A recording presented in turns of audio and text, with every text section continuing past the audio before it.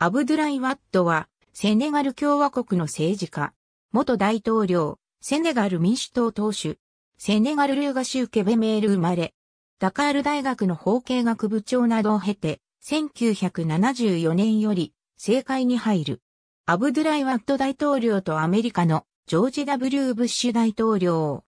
1981年以降、長期にわたったアブディフ政権の下で野党政治家を続け、2000年の選挙で決選投票の末に大統領に選出された。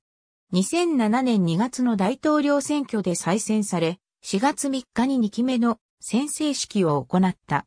2001年には新憲法の制定により、大統領の任期は7年から5年に短縮されたが、この規定は2007年の1期目の大統領、任期終了後に適用される。2010年4月4日、セネガル独立50周年の節目に合わせて、長年、アイデアとして温めてきたアフリカルネサンスの像を完成させる。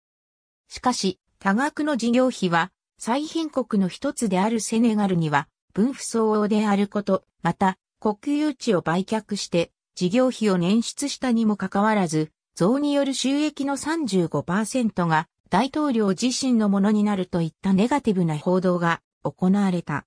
2012年3月25日投開票の大統領選挙でマッキーサル元首相に敗北し、2期12年の政権に幕が降りた。